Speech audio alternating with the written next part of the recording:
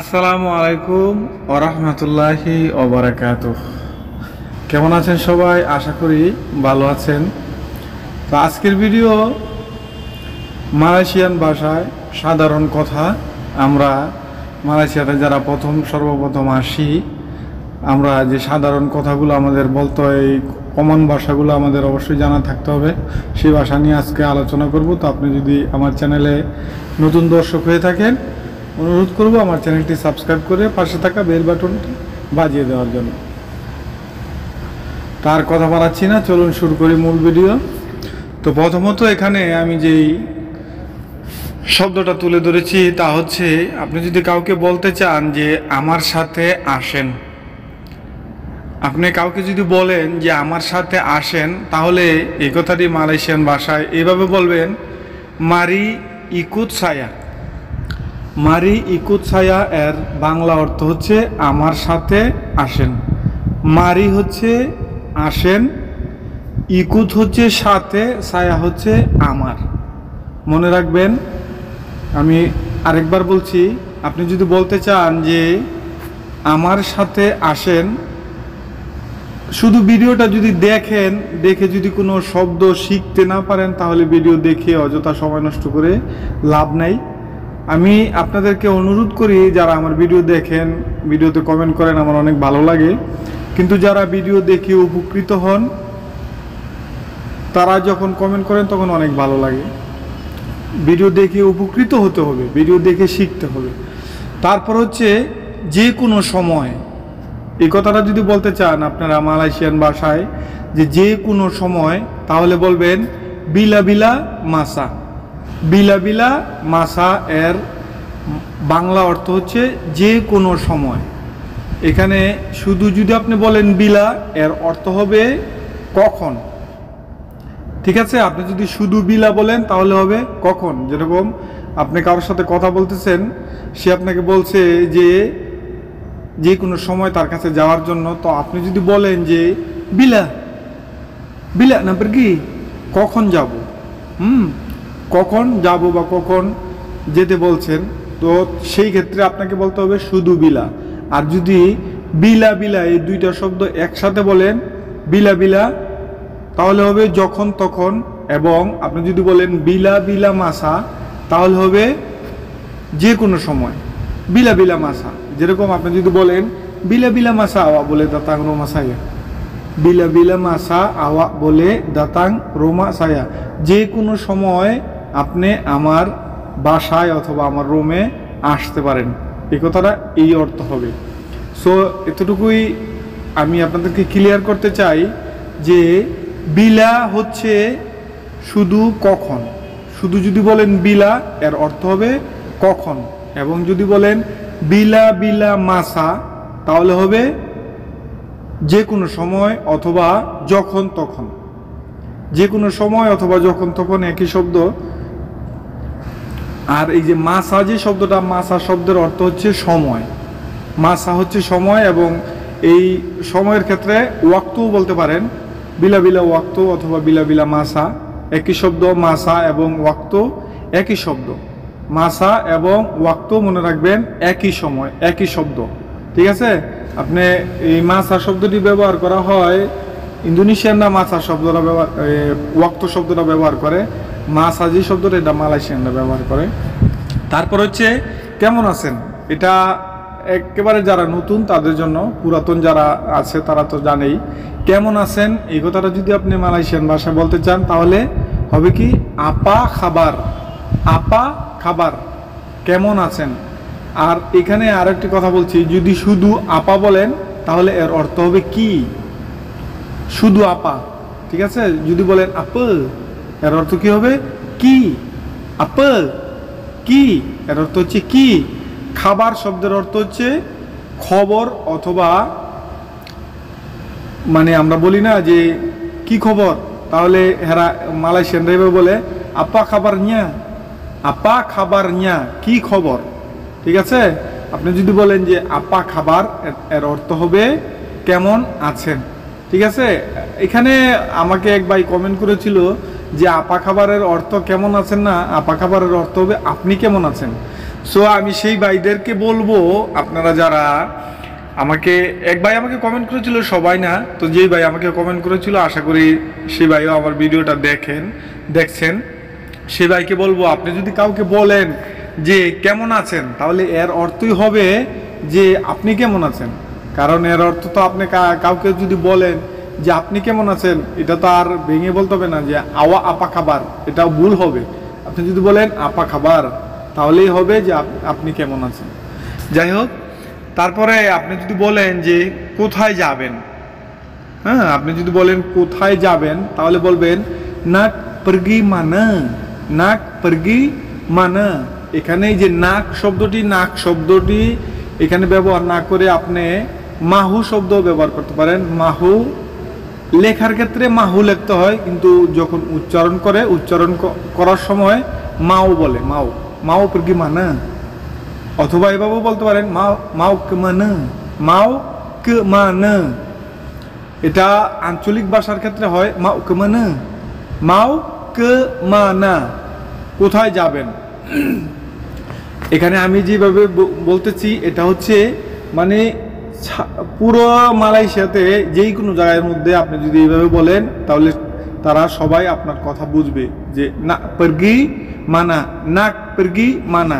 এখানে যে নাক শব্দটা, এটা লেখার ক্ষেত্রে লাস্টে কডা ব্যবহার করতে হয় বা কে ব্যবহার করতে হয়। যারা মালয়েশিয়াতে এবিসিডি দিয়ে লিখতে পারেন বা এবিসিডি দিয়ে মালয়েশিয়ানরা যেভাবে লেখে, সেই লেখাগুলো যদি বুঝতে পারেন, আমি এখানে এবিসিডি দিয়েও লিখেছি। এই যে লাস্টে যে ক লেখা আছে, কে, এই লেখার সময় কিটা লিখতে হয়? আর যদি উচ্চারণ করেন, উচ্চারণ করার সময় আপনাকে এইভাবে বললে হবে, না না, পারগি, মানা, না না না বললেই হবে।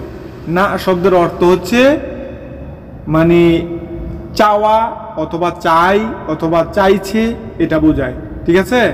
যে আপনি কোথায় যেতে চাচ্ছেন অথবা আপনি কোথায় যাবেন এই- এইভাবে যদি বলেন, তাহলে বলবেন, না, পরগি মানা।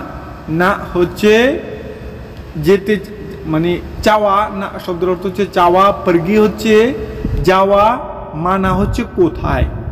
ঠিক আছে? আপনি যদি বলেন, না পরগি মানা, এর অর্থ হবে কোথায় যাবেন। আশা করি বুঝতে পেরেছেন।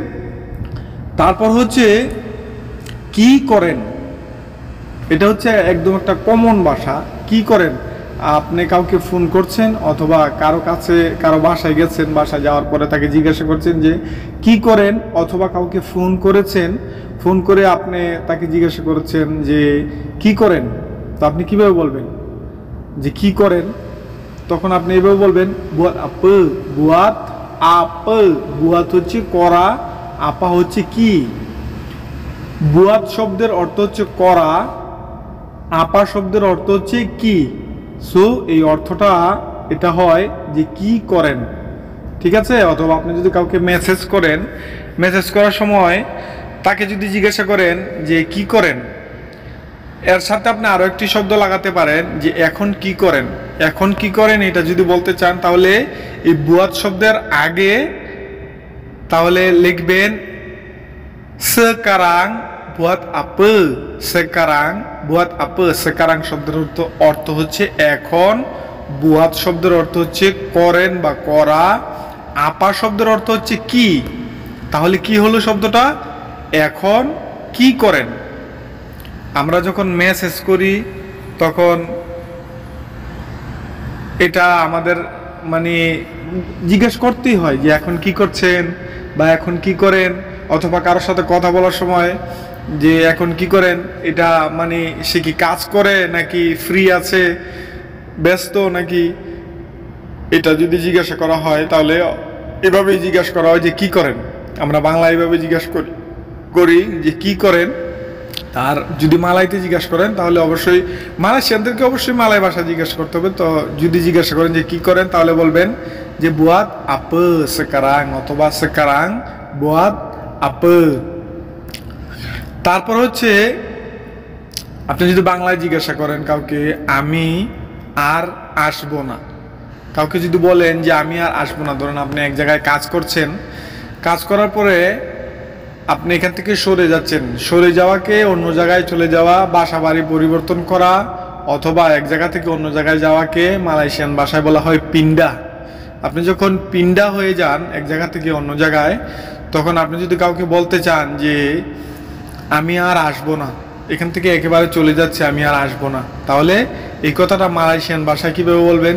এটা মালয়েশিয়ান ভাষায় এভাবে বলবেন সায়ে তাক মাহো দাতাং লাগি। এটা লেখার ক্ষেত্রে হবে সায়া তাক মাও দাতাং লাগি। কিন্তু আপনি উচ্চারণ করার সময় সায়া তা মাও দাতাং লাগি। এভাবে বলতে হবে। ঠিক আছে? লেখার সময় অবশ্যই তাক শব্দটা লিখতে হবে। লাস্টে যে যে কে শব্দটা টি এ কে তাক, এটা লিখতে হবে। কারণ এটা হচ্ছে শুদ্ধ ভাষা। আর যখন উচ্চারণ করবেন, তখন বলবেন, সাইয়া তা, মাউদা তাং লাগি, আমি আর আসব না। যাই হোক, তারপর হচ্ছে আপনি যদি বলেন যে, আপনি কি বিবাহিত? আমরা অনেক সময় কথা বলার সময় কারোর সাথে পরিচয় হইলে, তারপর কারোর সাথে কথা বলার সময় আমরা জিজ্ঞাসা করি যে, আপনি কি বিবাহিত নাকি অবিবাহিত? তাহলে এই কথাটা কীভাবে জিজ্ঞাসা করবেন তাকে মালয়েশিয়ান ভাষায়? যা আপনি তাকে জিজ্ঞাসা করবেন, আওয়াক সুদাহ নিকাহ belum awak sudah nikah belum awak sudah nikah belum আওয়াক হচ্ছে আপনি অথবা তুমি মালয়েশিয়াতে সবাইকে আওয়াক বলা হয়, ঠিক আছে? কিন্তু লেখার ক্ষেত্রে লেখার ক্ষেত্রে এই আওয়াক শব্দটা অনেকভাবে লেখা যায়। মানে আপনি যে শব্দটা, এটা অনেকভাবে লেখা যায় যেরকম আওয়াক কামু মু আন্ডা এই তিনটা শব্দ একই অর্থ। লেখার সময় কেউ কেউ আন্ডা লেখে। আন্ডা হচ্ছে শুদ্ধ, একদম শুদ্ধ বইয়ের ভাষা। আন্ডা, ঠিক আছে? কিন্তু আঞ্চলিক ভাষার সময় হচ্ছে মু শব্দটা ব্যবহার করা হয়। যাই হোক, আপনি কি বিবাহিত নাকি অবিবাহিত? এর অর্থ হচ্ছে আওয়া সুডানিকা বলুম। আপনি কি বিবাহিত নাকি অবিবাহিত? তারপর হচ্ছে পছন্দের কথা গোপন রেখো না। এটা হচ্ছে পুরাতনদের জন্য যারা পুরাতন আছেন। ধরেন আপনি কারোর সাথে সম্পর্ক করছেন বা করছেন বা করবেন, তা আপনি যদি তাকে বলতে চান যে পছন্দের কথা গোপন রেখো না, তাহলে কীভাবে বলবেন? এই কথাটা মালয়েশিয়ান ভাষায় বলবেন, জাঙ্গান পান্ডাম সুকা। জাঙ্গান পান্ডাম সুকা। এখানে জাঙ্গান হচ্ছে তাকে আপনি নিষেধ করছেন পেন্ডাম শব্দের অর্থ হচ্ছে গোপন। প্যান্ডাম প্যান্ডাম, এই পেন্ডাম শব্দের অর্থ হচ্ছে গোপন, যে কোনো কিছু গোপন করা। সুকা শব্দের অর্থ হচ্ছে পছন্দ। তো আপনি যদি বলেন যে পছন্দের কথা গোপন রেখো না, তাহলে এভাবে বলবেন, জাঙ্গান প্যান্ডাম সুকা। তো প্রিয় আজকের ভিডিও এখানে শেষ করছি। আশা করি আজকের ভিডিওটি সম্পূর্ণ দেখলে অনেক শব্দ তো আপনাদের শেখা হবে। তো আমি অনুরোধ করব ভিডিওটা সম্পূর্ণ দেখার জন্য। তো ভালো থাকবেন, সুস্থ থাকবেন। ভিডিওটা কেমন লেগেছে অবশ্যই কমেন্ট করে জানাতে ভুলবেন না। Bye bye.